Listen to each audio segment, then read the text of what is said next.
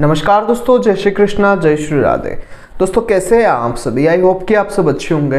दोस्तों, आज की इस वीडियो में हम चर्चा करेंगे फरवरी का महीना कन्या राशि वाले जातकों के लिए कैसा रहने वाला है? कन्या राशि वाले जातकों के लिए फरवरी का महीना क्या उतार चढ़ाव लेकर आ रहा है? उनके लिए क्या अच्छी चीज़ें लेकर आने वाला है? ये आज की इस वीडियो में हम चर्चा करेंगे। देखते रहिएगा, इस वीडियो को और बने रहेगा मेरे साथ। मेरा नाम है विशाल और आप देख रहे हैं एस्ट्रोविश यूट्यूब चैनल सब्सक्राइब कीजिए एस्ट्रोविश यूट्यूब चैनल को और बेल आइकन को प्रेस कीजिए, जिससे कि मेरे द्वारा अपलोड की हुई सारी यूट्यूब वीडियोस का नोटिफिकेशन आपको मिलता रहे। आप देख रहे हैं world number one free astrology service Astrovish YouTube channel दोस्तों, राशिफल शुरू करने से पहले आपसे कहना चाहूँगा, ये जो राशिफल है गोचर के ऊपर निर्धारित है। तो यहाँ पर हम आपको सर्वप्रथम जो फरवरी महीने में महत्वपूर्ण गोचर होने वाले हैं, उनकी जानकारी हम यहाँ पर आपको दे देते हैं। चार फरवरी को बुद्ध देव जो है वो मकर राशि में मार्गी अवस्था में आ जाएँगे। फ़िलहाल बुद्ध देव जो है वो अस्त और वक्री अवस्था में चल रहे हैं। तेरह फरवरी को सूर्य देव का मकर राशि को छोड़कर कुंभ राशि में गोचर होगा कुंभ संक्रांति है। 26 फरवरी को मंगल देव का धनु राशि को छोड़कर मकर राशि में गोचर होगा और 27 फरवरी को शुक्र देव का धनु राशि छोड़कर मकर राशि में गोचर होने वाला है। यहाँ पर ये जो गोचर है, ये कन्या राशि वालों आपके जीवन में क्या उतार चढ़ाव लेकर आने वाले हैं? ये जो गोचर है, आपके जीवन में क्या अच्छी चीज़ें लेकर आएगा? आपके जीवन में क्या बुरी चीज़ें लेकर आएगा? यहाँ पर ये गोचर आपके जीवन में क्या नई चीज़ें लेकर आने वाला है, इस पर हम चर्चा करेंगे। तो कन्या राशि के जातकों के लिए देखा जाए तो ये जो महीना है, कन्या राशि वालों कान खोल के सुन लीजिएगा। ये जो महीना है, फरवरी का महीना आपके लिए सफलता के नए द्वार खोलने वाला रहेगा। आपको जीवन में जहाँ असफलताएँ मिल रही थी, जहाँ जीवन में आपके काम नहीं बन रहे थे, जहाँ पर आपको हर कदम कदम पर परेशानियाँ दिख रही थी, वो सारी परेशानियाँ हट जाएगी और आपके जीवन में आपको एक नया और एक अच्छा सुंदर भविष्य नज़र आएगा। यहाँ पर एक चीज़ मैं कहना चाहूँगा कि हो सकता है आपको कुछ परेशानियाँ इस टाइम पर छोटी मोटी प्राप्त हो, लेकिन घबराइएगा मत, ये महीना आपको अच्छी सफलता देकर जाने वाला है।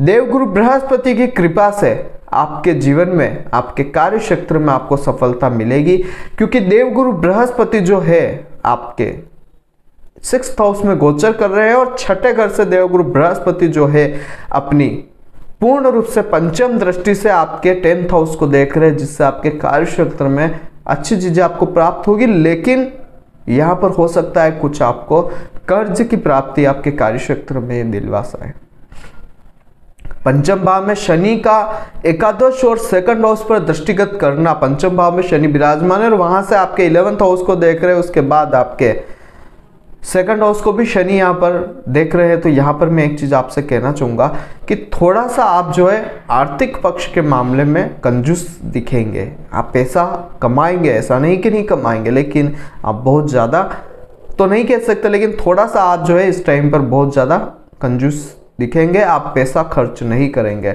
और इससे आपके आर्थिक पक्ष में इस टाइम पर मजबूती बनी रहेगी, आप पैसा जो है बचाने में कामयाब इस टाइम पर रहेंगे। वैसे देखा जाए तो हालाँकि पंचम भाव में आपके सूर्य, बुध और शनि एक साथ विराजमान है, सूर्य, शनि की युति भी है। तो ऐसे में विद्यार्थियों को नुकसान उठाना पड़ सकता है। विद्यार्थी जातकों को मैं कहना चाहूँगा, इस टाइम पर हो सकता है आप अपना पढ़ाई में मन नहीं लगा पाए, क्योंकि सूर्य जो है वह यहाँ पर विराजमान है, शनि की युति है। कुछ पेट संबंधी समस्याएँ आपकी इस टाइम पर बनी हुई रह सकती है। पेट में एसिडिटीज वगैरह, इसकी परेशानियाँ आपको देखने को मिल सकती है। लव लाइफ वाले जातकों को कहना चाहूँगा लव अफेयर्स में परेशानियाँ आ सकती है। आप अपने पार्टनर को संतुष्ट इस टाइम पर नहीं कर सकते हैं। तो ये परेशानियाँ आपको इस टाइम पर देखने को मिल सकती है। इसी तरह अगर देखा जाए तो शुक्र आपके चौथे घर में गोचर कर रहे हैं। धनुराशि चौथे घर में आती है और यहाँ पर मंगल भी विराजमान है। तो यहाँ पर शुक्र का विराजमान होना एक चीज़ तो आपके लिए अच्छी ये हो गई कि आपका शुक्र जो है आपको बेनिफिट देगा। शुक्र आपके लग्जरियस लाइफ में बेनिफिट देने वाला है। आप कुछ वाहन वगैरह या कुछ घर में किसी चीज़ का नया मतलब कि नई चीज़ ला सकते हैं, घर में ऐश्वर्य के ऊपर खर्च कर सकते हैं। लेकिन साथ साथ में आपके कलह भी घर में बना हुआ रहेगा। घर के लोगों के मध्य, आपके और घर के लोगों के मध्य लड़ाई झगड़े इस टाइम पर चले हुए रहेंगे। आपके बीच में, परिवार वालों के बीच में कुछ न कुछ कलह बनी हुई रहेगी, उठापटक रहेगी, जिससे आप असंतुष्ट पारिवारिक जीवन से, अपनी माता से इस टाइम पर रह सकते हैं। सूर्य और बुध और शनि के एक साथ पंचम में होने से प्रेमी युगलों को भी बहुत ज़्यादा परेशानियों का सामना इस टाइम पर करना पड़ सकता है। अनसेटिस्फेक्शन यहाँ पर आपको, आपके लव लाइफ से रहने वाला है। कन्या राशि के जातकों के अगर स्वास्थ्य की दृष्टिगत से देखा जाए, फरवरी का महीना कैसा रहेगा तो मैं यहाँ पर ज़्यादा बड़ी बातें नहीं करना चाहूँगा। सिर्फ़ और सिर्फ़ एक ही चीज़ मैं यहाँ पर कन्या राशि वाला आपसे कहना चाहूँगा, सावधान रहे। सावधानी हटी तो दुर्घटना घट सकती है। नियमित आप जो है, योग व्यायाम करते रहे, नियमित आप सैर पर जाए, शुद्ध और पौष्टिक आहार ले, आपके लिए अच्छा रहेगा। अनशन खाना आपके लिए अच्छा नहीं रह सकता है तो इस चीज़ का आप ध्यान रखें और खान पान पर आप बहुत ज़्यादा विचार करें। इसके बाद आपका स्वास्थ्य अच्छा रहेगा, लेकिन मैं यहाँ पर ज़्यादा कौन सी क्या प्रॉब्लम्स होने वाली वो नहीं बताऊँगा।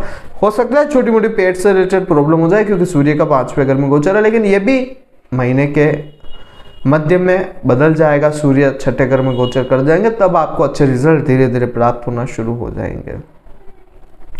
यहाँ पर कन्या राशि वाले जातकों में आपको कुछ छोटा सा उपाय बताऊँगा। इस उपाय को आप अपने जीवन में उतारिएगा, जिससे आपके जीवन में अगर कोई बड़ी परेशानी आ रही है तो वो दूर हो जाएगी और आपको अच्छे प्रभाव इस टाइम पर प्राप्त होंगे। उपाय कोई बड़े नहीं है, उपाय छोटे हैं, इन उपायों को आप करिए अच्छा रहेगा। शनिवार के दिन विशेष रूप से आप ध्यान रखिएगा, शनिवार के दिन आप अपने ऊपर से दो मुट्ठी मूंग जो होते हैं, वो लेकर उतार कर बहते हुए जल में आप प्रवाहित कर लें, ये आपके लिए अच्छा रहेगा।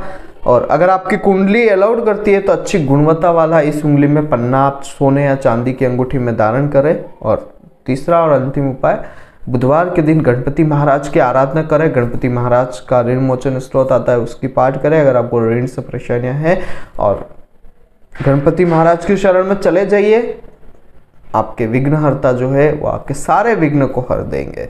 ये छोटा सा उपाय, इसे उपाय अपना लीजिएगा, आपके जीवन में आपको सुख समृद्धि तरक्की प्राप्त होनी शुरू हो जाएगी। तो आज की वीडियो में कन्या राशि वालों, आपने जाना कि फरवरी का महीना आपके लिए कैसा रहेगा। तो आज की वीडियो में इतना ही। कल फिर मिलेंगे एक नई वीडियो के साथ, एक नए टॉपिक के साथ। तब तक के लिए जय श्री कृष्ण, जय श्री नाथ जी बाबा की। आई होप कि मेरे द्वारा बताई गई जानकारी आपके लिए हेल्पफुल और महत्वपूर्ण रही होगी। अगर आपको ये वीडियो पसंद आती है तो इसे दूसरों के साथ भी शेयर कीजिए, जिससे कि दूसरे लोग भी इस चीज़ का फ़ायदा उठा सके। दोस्तों, बने रहिए इस चैनल के साथ। मेरा नाम है विशाल और आप देख रहे हैं एस्ट्रोविश यूट्यूब चैनल जय श्री कृष्ण।